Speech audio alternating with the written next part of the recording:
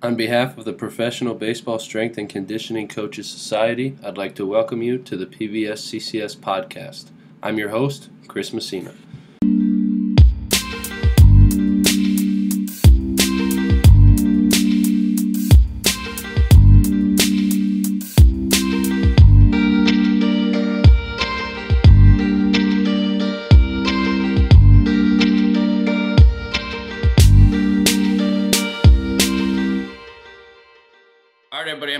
Casey Callison of the Toronto Blue Jays organization. Casey, thanks for coming on, man. Appreciate your time. Tell the listeners about yourself, if you would, please.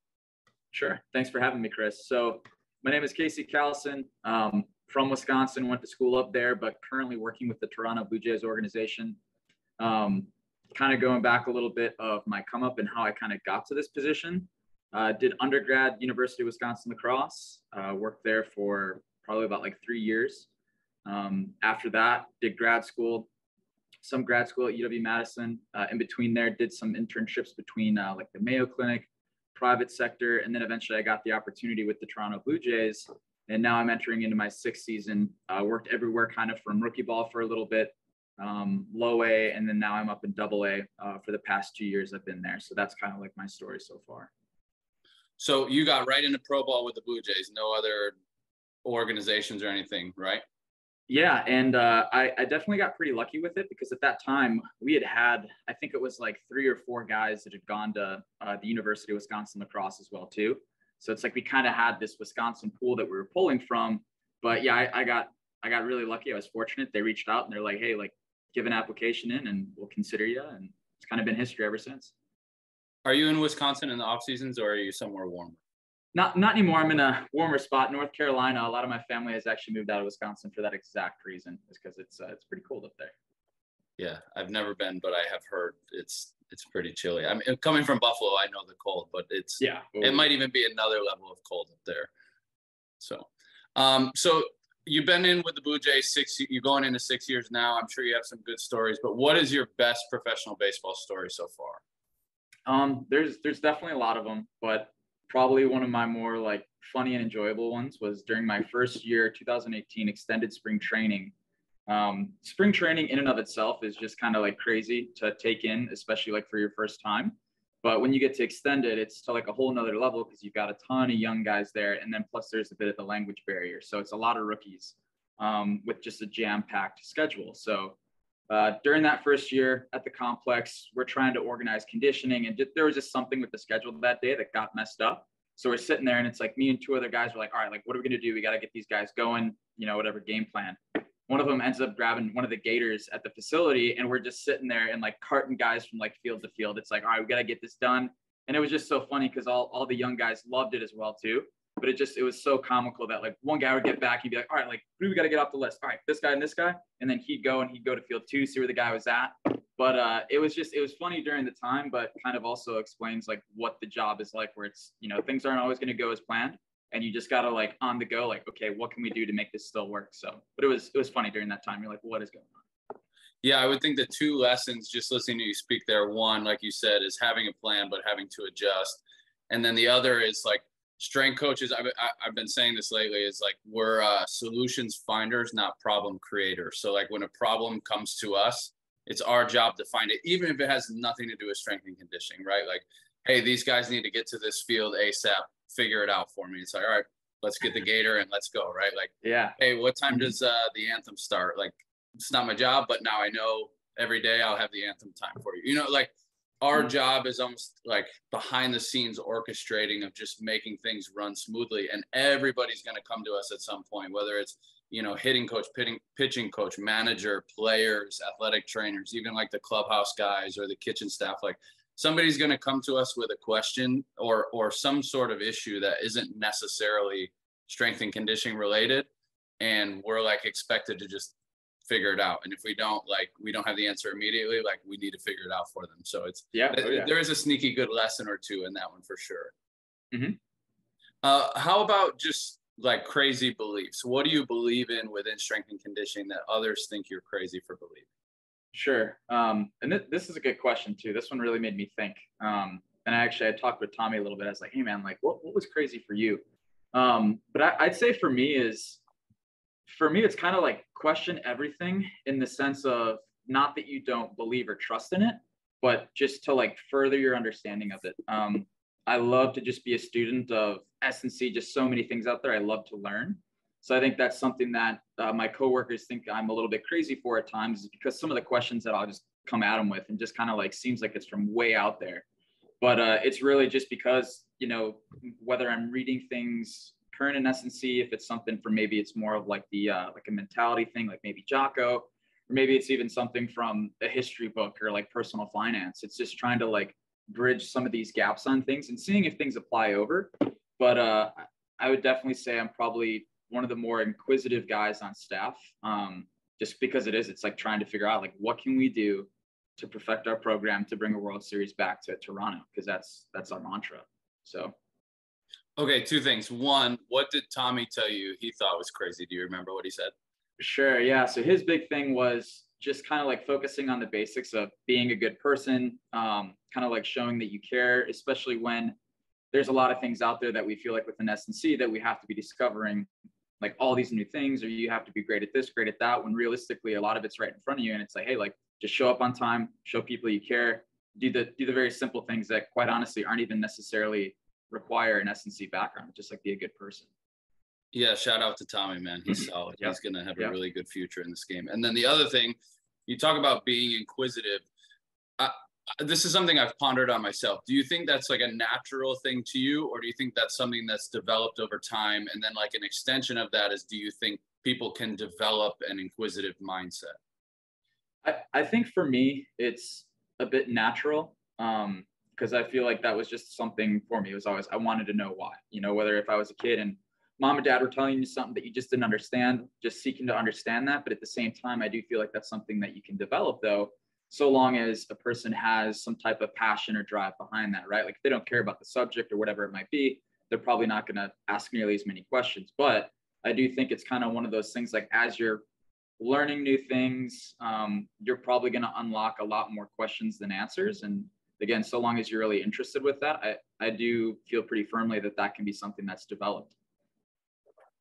Yeah, I would agree. I, I feel like just kind of reflecting on my own life and my own path, like I've always been a relatively inquisitive person just about anything. And I think the the key point for you is like if somebody isn't as inquisitive, like finding something that they are really passionate about helps you just kind of develop like that inquisition towards that and then maybe that transfers to something else like you're talking about yeah you know you read jocko you read personal finance stuff like I, I was always really inquisitive when i was young about strength and conditioning and it was just all x's and o's and then as I got a really good base of that, it was like, all right, there's a sub branch of this to dig into. And then I get into that and I'm like, oh, this is kind of interesting. And then it leads me into this other rabbit hole. And then now I have like three or four books going at any one time on like, you know, movement training and leadership and like for fun book. And like somehow they all kind of like intertwine at the point of my life that I'm at. But I think it started with just having a passion for one thing and then letting that naturally branch out the way that you're yeah. kind of talking about. Yeah, I agree. Yeah, so it's it's always interesting to talk to people that that are just like nat- naturally inquisitive. Like when I, I was a kid, I hated reading. I hated like I just loved sports. You know, like every yeah every kid. And then I got into weightlifting, and then it was like I actually really love weightlifting. Like, but I I need to figure out how this makes me a better player, not just a bodybuilder and like looking better. And then I figured that out. And then it's like, wait a minute, strength and conditioning is like a whole like field. Like this is wide open for me now. And then now it's like every day it's like, oh, you know, I can listen to this podcast, I can watch this YouTube video, I can talk to this strength coach. Like there's endless resources on strength and conditioning. And now it's almost to the point where it's like, how do I connect these other things like you're talking about to my strength and conditioning life so that I'm a well-rounded person and not just yeah. a walking textbook of strength and conditioning you know yeah no I, I agree man i think back to like classes that i took back in school and i by no no means was like a phenomenal uh, student but it's like now i look back and i'm like man i wish i would have taken that. Or it's like you know I, I never took physics back in school so i was like man i wish i would have taken physics i took chemistry instead. But uh, yeah it's just kind of interesting. Once you find that true passion that you have on something then you start like slowly getting into other pieces and you're like wow like some of this stuff is actually pretty related. And then again you find out how many more rabbit holes you can go down. Yeah, I almost wish I could like go back to school and like take the classes I did early on in my career, knowing what I know now and just seeing how they would like hit me differently. Like I, I sure. do that with books a lot. Like I have kind of a set of books that I always go back and read each year or every two years. And like every time I do, I'm a year or two smarter or I guess wiser. Um, and so things kind of pop out at me differently in, the, in those books where like they might not have registered the first time, but now mm-hmm. they do. Um, I, I was always curious about just, I wonder how that would be if I, if I was able to go back to school, if I would still like kind of pay attention, kind of not pay attention, or like if it was like, oh, okay, now I see how that could work 10 years down the road type of sure. So, uh, okay, so let's talk about success. You were the strength and conditioning coach of the year in the Eastern League this year.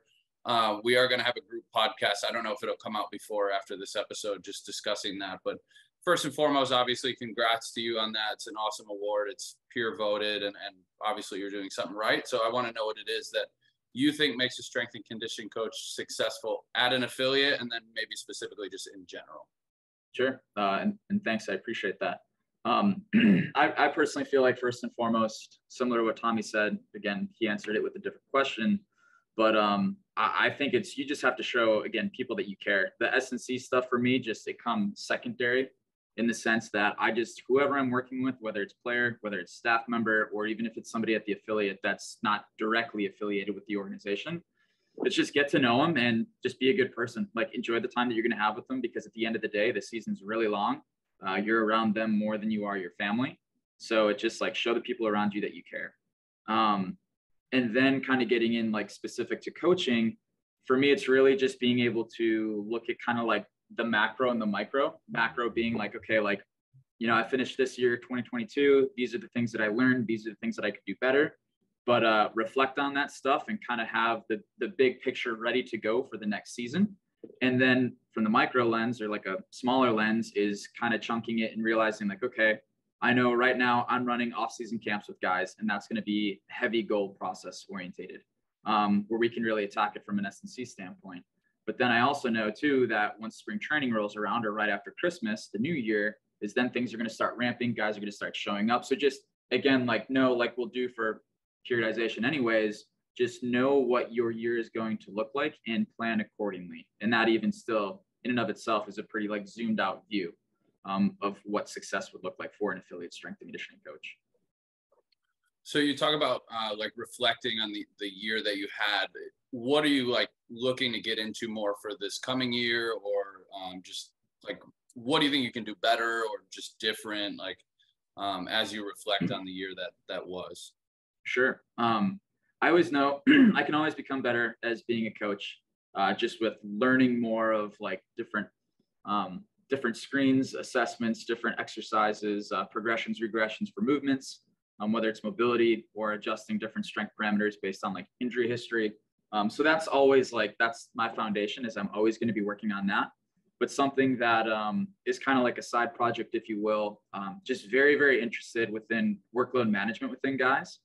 Um, to provide like an example is if you look at some of our young guys, whether they're uh, first year just got drafted, or maybe some of our young guys down Dominican Summer League, or in the fall, um, fall to the ah not fall, sorry, Florida Development League, League, I believe is what we call it. it. Used to be called the Florida Coast League when I was there. But anyways, you've got these really young guys, and then you have major league players. Clearly, we have a massive gap there. So it's being able to dive in and see anything from player load to throwing load to swing load to, to sprint load, but just working on to establish a better understanding and idea of what some of these parameters are for a player's development process through our system. Um, again, it's not to say that we don't have something like that, but it's more so just digging into it more and really getting an idea of like if I've got a guy, let's say at double A, and he's got to go up to triple A and then also probably be needed in the big leagues. Um, I mean, you're close there, but at the same time, he could have totally different workload demands going from double A, where maybe he's playing every day, up in the big leagues. It's like, hey, we want to get him some experience up there. Maybe we do get him in for like an inning or for a game. Um, but still, at the same time, it's like totally different group of athletes that a guy's playing with, um, and even like prospect pool too. So I feel like if we can really iron out that process of what some of those parameters and ranges look like for guys, uh, I I just think that'd be an awesome thing. Um, to just help making sure that our guys are ready to go and at their best each and every day. Best they I can want, be. I want to run with this a little bit. Are you okay with with talking about Yeah, workload management sure. stuff? Okay, Yeah. so you talk about like position players moving up, and then obviously the, the other side of that is pitchers, right? So from my own personal experience, and I'm curious if you've seen the same, is like position players that usually move up that are like your your cream of the crop, your your top level prospect guys, or even like mid tier guys, whatever, however it is. But like they seem to play more in the minor leagues than when they come up to the big leagues, right? Unless they're like the, the top of the top and they're going to play every day type. Yeah.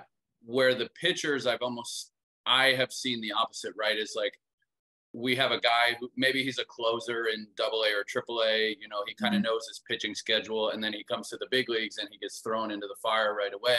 He goes five out of eight days, he throws multiple innings.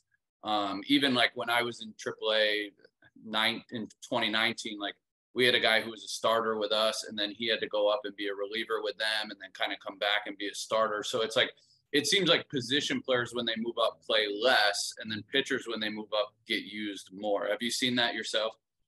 Yeah, I would I would definitely say so. Um, that seems to be pretty true for us. I mean, we had like some guys that I mean, after I guess like their first year, kind of uh like then they really got thrown into the mix just because then they kind of reformulate the roster. But yeah, generally speaking for us, that's very much so the same. Do you think that um, like as they move up, is there ways to kind of mitigate or minimize those big spikes of like, okay, the again, it, we can't control like when a guy plays in a game or like when a guy pitches in a game or whatever. But as they move up or down, like what kind of stuff have you seen help, if any, um, just kind of minimize those big spikes? Sure. um, I think the easiest thing is just kind of checking for awareness or like soundness of a guy's routine and like just posing the question to him and saying like, hey man, like you've got some great opportunities here. Um, but just what what do you think we're going to need to do if you're not playing nearly as much because you're uh you know you're playing every game of the week for us right now. So that's what I like to touch on first, just to see like if a guy would have the autonomy to be able to make those adjustments and just kind of see where their head would go. But I do think is again, um, I've had a lot of success with guys and just being able to show some of our graphs, some of our systems to them and just fill them in and say, hey, look, man, like I'm tracking top speeds for you. I'm also tracking how many times you're going out and taking ground balls, this and that. Um, this is where your numbers are currently at.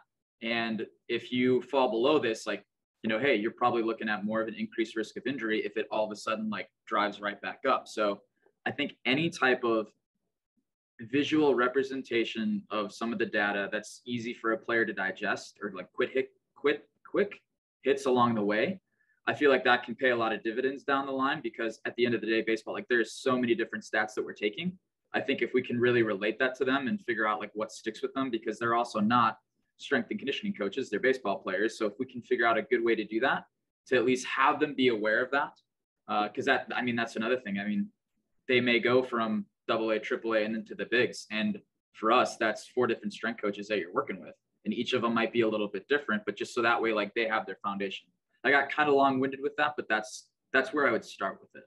No, that's uh, honestly that's perfect. I I would agree. I think that especially the more they move up, there's more information available to them and given to them, Mm-hmm. and for us to make our like our point uh, like heard and understood, I think, like you said, one having an easy visual for them, two like having the good conversations with them, and then three like making the the long term effects of either doing this or not doing this like very easily digestible. I think that all helps. Um, and for me, I, for me, I think you were spot on. I, it, it's not long winded or anything. And I think that's like relevant. And the thing is, like you said, those, as guys move up, they're they're going to work with different strength coaches. Uh, and for me, I always try to tell our guys like the when a guy moves up, you shouldn't be making the person above you above you their job harder. It should be easier for them. Yeah. That guy should Yeah. come up to you. He should have an understanding of what he's doing strength and conditioning wise, have a decent routine, if not a great routine. Um, and the volume of your training at your level should theoretically be higher than the next level. Um, we shouldn't have a guy who, you know, under trains in double A and then he comes up to triple A and he's expected to do even more because then you're adding more stress to his plate. And especially Mhm. when they make that jump to the big leagues, there's the media, there's meetings, there's just the stress of playing in major league games. It's it's something this year that I took a, a, a I took like on myself to do. We had a lot of guys moving up and down from AAA and just interacting with them when they first got there and just having those conversations of like, hey, what does your routine look like? I'm here to help you. If you start feeling fatigued, like we need to make adjustments, but you need to communicate with me. We need to talk. Yeah. And and all of them, or I should say a large majority of those guys were like, man, the, the minor leagues, no matter what you do, isn't going to prepare you for the big leagues. And especially playing in the American League East mm, and just yeah. playing in Boston with the crowd and the intensity. It's just, it's just another level. And so for us, like, I think even if we do everything right in the minor leagues, like there's still that added effect of like now, oh, like, oh shit, I'm in the big leagues now. Like the lights are just so, that much brighter. And like, oh, yeah. for, for me, a huge part of it was just communicating with those guys and like checking in every day, like, like even mentally, like, hey, you all right? Like, you doing okay? Do you need anything? Like, and I think that went a long way for me. One, for buy-in from from them for our program, but two, just helping them feel like more at home and more comfortable and more relaxed and like knowing they had somebody on their side and in their corner to talk to about things like dude i'm gassed like can you help me out like yes i, I can like or hey, uh, you know, I, I know you were kind of protected in the minor leagues, but like we take the kid gloves off here. Like you're to get worked. Like be ready for it. Like maybe we should do a little less to start and then you can see how, how the workload goes and then we can adjust. So I think for me, the biggest thing was just having those conversations, just being on the opposite side of like the minor league guys going to the big leagues, right? Is just, there's always that, that added intensity of the game that you can never replicate in, in the minor leagues, no matter how hard you try. Yeah. Yeah, it, it's funny you mentioned like playing in Boston too. There's multiple uh, guys that um, I've worked with from our like major league roster that have just said like it's it's totally different playing there. Like just the intensity, everything. They're like so some of them like I don't like playing there at all. Like the fans, they just bring it, and so just funny. Yeah, man, it's it. The American League East is a real thing. You know, between Toronto's very loud, New York's very loud, um, Boston's very loud, and then you got the turf down in Tampa and in Toronto. Like it's all of these elements factor into just yep. making the game that much more difficult for these guys. And again, in the, in the minor leagues, better or worse, like every week they have an off day. The travel's gotten a little bit easier. Like it's all of that stuff doesn't help make that transition any easier yeah. for those guys. And then they get up there and again, like the lights are bright and they're like, whoa, like I just scored the winning run against the Yankees in the in the bottom of the ninth. We walked it off. Like, yeah, I don't remember what happened. And it's like, but then they're like, you know yeah. what I mean? Like they, they're exhausted, and it's like, how can we help them to minimize? Like we were talking about those big spikes in intensity, and just mm-hmm. minimize the risk of of soft tissue injury. Because I think a lot of that happens with those guys is just those big spikes in workload. Mm-hmm where are you going for uh, resources specifically? Are you reading anything? Or are you just like diving in more to your own internal processes that you guys use? Um, I, would say it's it, well, it's kind of all over the place. I haven't read a like targeted S&C book in a while, but that's also because I'm much more of like an article or podcast guy. So it's more so like as concepts kind of come around, it's like boom, hit it up. Um, I, I know like a website I frequent is uh, Science for Sport. I just I like a lot of their content that they have um, because it tends to be a lot of the things that I'm interested in but uh, anything from like what do we do last year? Last year we had an FMS seminar.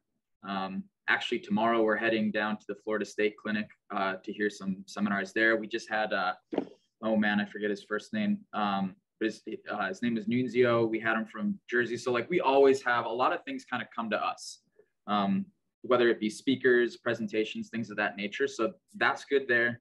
And then for myself for books, um, again, like I said, anything from Jocko. I do like some from Tim Ferriss as well too. A very interesting one that I like of his is Tools of Titans, where he just interviews like a ton of like hyper successful people, or that like you know society would claim is hyper successful. But just see like some of their routines. What do they do, right? Like some of these guys are sitting there, waking up at four o'clock in the morning, starting their day off with like a run or something like that, or maybe it just like there's certain things that they do. But what I enjoy about it is it gives me an opportunity to reflect. Okay, like these are what some other people are doing that have basically found a lot of success in their specific field. How can I apply that over to what I'm doing? Again, time parameters might be different, but really enjoy that. How about um, maybe like specifically to the workload stuff? Um, like, do you, is it's hard? I don't know if there's any like actual legitimate resources on that, or if it's just like mastering your own like hey these are the, the, the things we do like this is yeah. what we really want to hammer with you guys like how do we refine this? Or is it like hey i read this like let's try to pull this in like you know maybe sure. catapult or something like that for instance? Sure. Um yeah catapult we use that. That's helpful. Um but honestly something that i've really found a lot of use with is i've been interested again in some personal finance stuff and just kind of like reading into like okay like what are some of these moving averages that are used for people when you're investing um what are some of these bollinger bands like there's people out there these mathematicians statisticians that uh, they apply this to making money as well too. But the thing is, though, it kind of gives you an idea of parameter and zones to kind of follow. So that's been something again, not directly within S&C, but for me, it's just been a combination of that, um, re- refining my knowledge of Excel as well too. Uh, I should say, like we do have some in-house systems that we have that we've had, you know, IT people that are way smarter than myself um, that develop that. But at the same time, though I've really enjoyed going out there and seeing different ways that you can back test data from like, let's say a CSV file. So it's again, kind of like non-traditional in the sense that I'm not going out there and getting workload book, but it's trying to go out there and see what, what are other people using as assessment tools to monitor trends out there just numerically. And then going into the data that we have and trying to see like what I can have. So like one thing right now that I'm taking a peek at is we use our Hawkins Dynamics force plates and it's just getting an idea of where again, like some of these guys are trending in season. Maybe there's a guy that comes out of rehab and as soon as he gets into the affiliate life, all of a sudden his jumps are just going down. So it's like, all right, like I see this trend.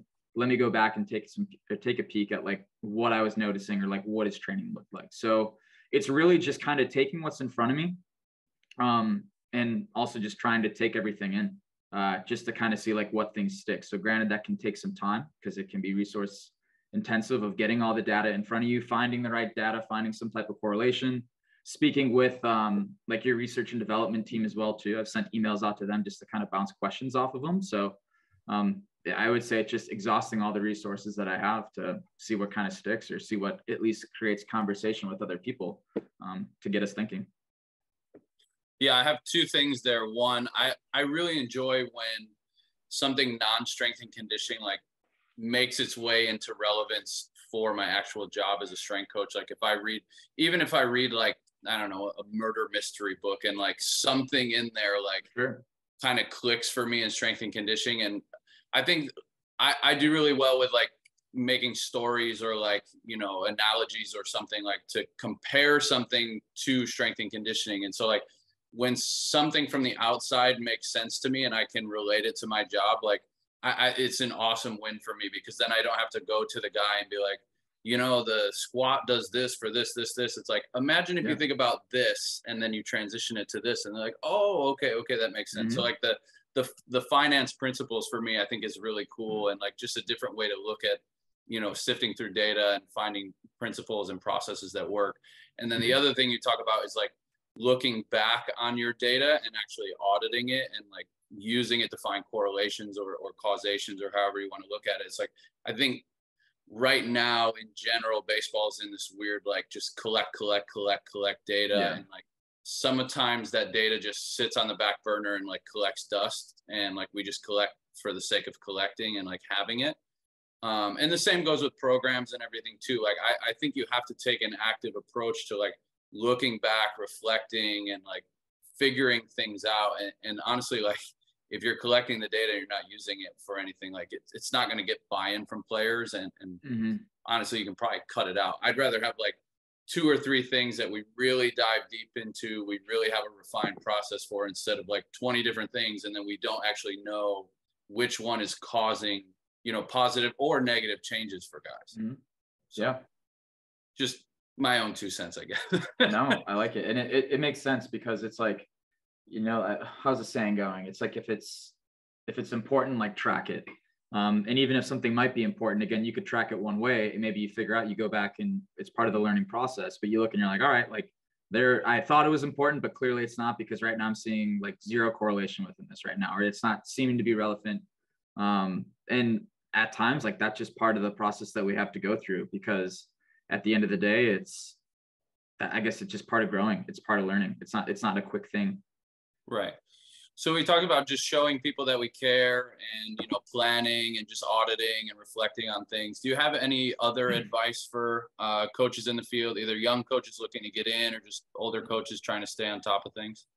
Yeah, um, I would say, and I'm I'm probably bad at this. I always say like I want to do it and I I need to be better at it, but I would say as well just reaching out to coaches in the field and just checking out for like shadowing opportunities.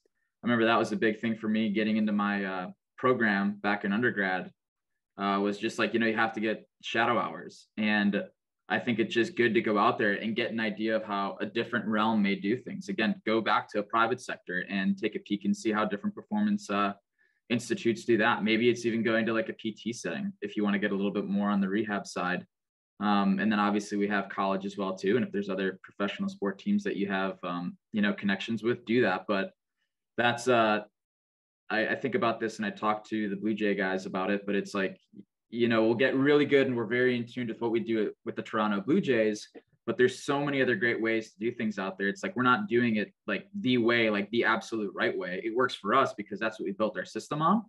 But I would say it's just very, very important, um, no matter where we're at in our careers, just, just go out and learn from other people. Just go out there, connect, and see if you're able to follow along and kind of see what their work looks like, and obviously engage in conversation yeah this this podcast has been like a, a blessing for me just to be able to have a reason to reach out to people i think sure. it's it's a weird thing right to just like cold call or reach out to somebody and be like hey can i come check out your work or hey do you have yeah. time to talk like it's uncomfortable for us but at the same time like i, I think most coaches are, are genuine and and will absolutely let you in or even like if you can't go visit them just talk shop and then Mm-hmm. The other part of that, that, you know, you talk about different realms and different ways of doing things.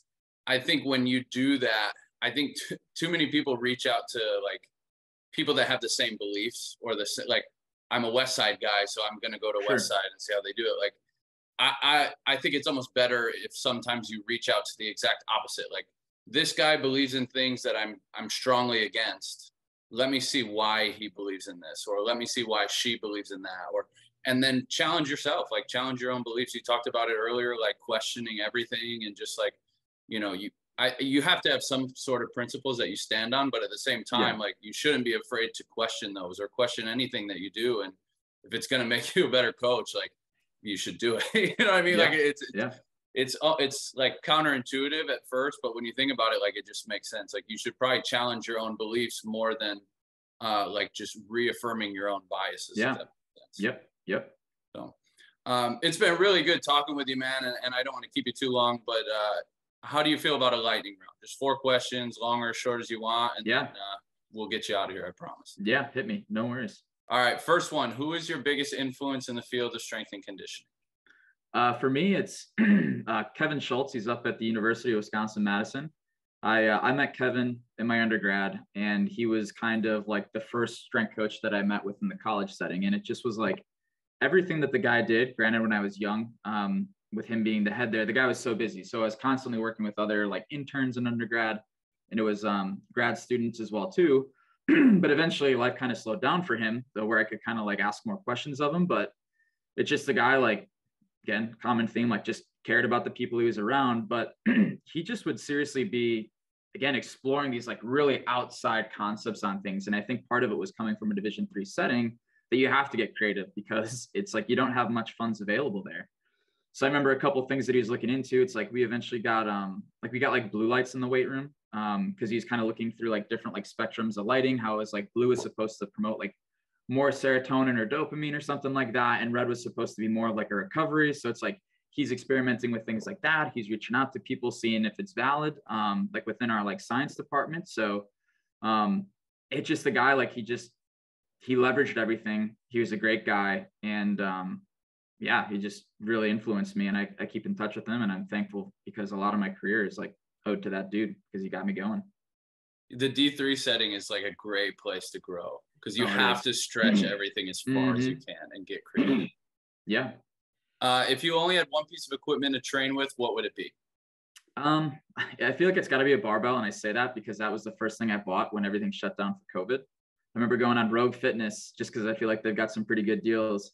And I'm on there like browsing and seeing like everything was sold out. And then all of a sudden one day I saw I saw there's a, a barbell available. I was like, perfect. First thing I'm gonna get barbell, and then later on I got some weights with it. But you can just do so much with the barbell. So I feel like that's what it's got to be. I had a home gym before the COVID shutdown, but I really wanted a Rogue bar and they were out for everything. And I just kept checking the boneyard every day, every day. I had notifications and then they yeah. sent me one and I was like, I'm pulling the trigger right now and not even thinking twice. And then it took forever for them to ship it. And then it was sitting in, in uh, the UPS. And then finally sure. I got it. And it was like the happiest day of, mm-hmm. of, the mm-hmm. shutdown for me, but totally, yeah, totally understand. Totally understand. Uh, what is your biggest accomplishment professionally and or personally? Oh, geez. Um, I feel like this one's tough. Uh, looking back, I think I think something for me, like what's been a good like learning experience with this is when I was young, I, I didn't really know what I wanted to do. Um, didn't really like school. I just enjoyed hanging out with my buddies. I loved doing sports. And uh, eventually got to a point where in high school, my mom and dad were like, hey, like you're going to college no matter what, whether you like it or not. And I'm like, okay, I guess I got to get serious about some of this stuff. So I was running track and field at the time, and I just I asked my track coach. I was like, "Hey, what um like what did you go to school for? How how are you able to be a coach?" And he told me basically exercise sports science, uh, things of that nature. So then I kind of started taking things seriously, and I remember my my goals and aspirations at that point. I was like, "Hey, like I really want to work for." Um, to be able to have experience working with and working for a professional team, I just I think that'd be awesome. And um, a, kind of biased as well too coming from wisconsin a big thing for me was the wisconsin badgers and then also the uh, of course the packers the cheesehead so um, I, I was super lucky i got internship and i was able to go to school at uh, wisconsin so i checked that off um, through a buddy of mine i was able to get the strength and conditioning coach for the packers uh, i believe mark lovat i got his uh, email and i was able to kind of reach out to him. I never got a chance to actually like work with him, but he he was a great guy because he always responded. You know, sometimes you go out there and it's uh, like applying for internships, graduate assistantships, or even a job, and uh, you send out a, a, hundred to like thousands of applications and you never hear back. And that guy literally would be like within 24 hours, and you just say, "Hey, I appreciate it. Um, appreciate you reaching out, but we don't have anything." Um, lo and behold, after several years of just continually bugging him, um, he gave me a call and kind of gave me some positive words for encouragement, but eventually ended up having me up to Lambeau and we just kind of talked some shop. So granted, I didn't get to work with them, but that was just, that was huge for me because that was just like the hometown team. And again, just somebody reaching out and like showing that they cared to like help me in my career. And then lastly, um, again, fortunate enough to be working with the Toronto Blue Jays. So really kind of everything up until this point has been like a massive accomplishment for me. And I'd say kind of rec- recommending out to a question we had earlier for younger uh, strength coaches out there. It's just kind of like like just shoot shoot for the stars and even then some because I, I found myself again with these opportunities i'm sitting here and i'm like wow like i'm not even 30 and i've been able to knock a lot of these things out like i need to think of some other things that i want to do so um, it's just everything so far has been amazing to be able to get these opportunities so it's been great lucky fortunate yeah it's funny like when i i flew home from arizona after i got offer the the uh, big league assistant here. And then as soon as I got in the car, my dad, the first thing he said was, "All right, what's your next goal?" Like you always have yeah, goals. Like you do. You know, you're in the big leagues now. What's next? And I was like, "Dad, I just got the job." And he's like, "You got to set another goal for yourself, man. Keep going higher." And you know yeah. that that always sticks with me. And again, I, I feel the same. Like just the exercise science thing, like he had always pushed me, like, "Hey, you like working out? Like, why don't you just do this?" And like, "No, no, that's dumb. Like, that's not a real mm-hmm. thing." And then like it it became a real thing. And along the way, you just meet like the right people and they give you the time. And it goes mm-hmm. back to what we were talking about, like just reach out to people. And, you know, even if somebody doesn't respond, like somebody will that's going to influence you positively and just, and you're just going to remember it, right? Like I, I remember all the people that when I reached out and I didn't have anything to my name, they like gave me the time of day. And I'm like, that's awesome. And I, and I think in general, most of this field is like that. So if there's somebody that you feel you need to reach out to, or you need to talk to, or learn from, talk shop with, like I say, just do it, man. I agree with you 100%. Yeah. Mm-hmm. Uh, last one. Any career other than strength and conditioning, what would you choose? Um, it would it would totally be like I, I know I've said it multiple times on here, but like personal finance stuff, like investing in the stock market. Um, I just I think it's cool. And uh, I remember when I first kind of got full time and I was able to have some accounts to like basically plan for the future. I uh, I was always kind of blown away where it's like, so wait, you're telling me I can give my money to somebody, they can manage it, but they can still like lose it, and I can be like out the money. So that was just something that kind of like piqued my interest, and I feel like it'd just be kind of cool to learn how like the global economy and just like how we afford things. Um, I feel like that'd be kind of cool. So that that'd be my other career if I got into uh, if I didn't do strength and conditioning. Gotcha. Well, Casey, it's been fun. It's been nice to get to know you over the, the couple episodes that we've recorded. If the listeners want to get in touch with you, where can we get more? Is social media the right place, or is there a better spot? Uh, best spot for me, honestly, just email um, casey.callison at bluejays.com.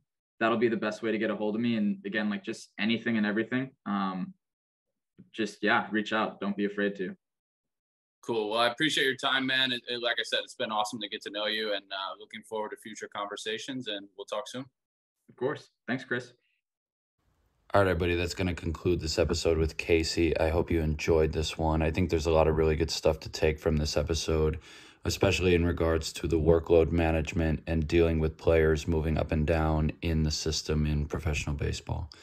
Three things that I took from Casey in this episode question yourself and your beliefs to further your understanding of different topics, reflect on your past to help you be a better coach in the future and learning from other disciplines can sometimes help you to connect the dots in your current position. With that being said, I hope you enjoyed this episode, and we'll talk to you again on the next one.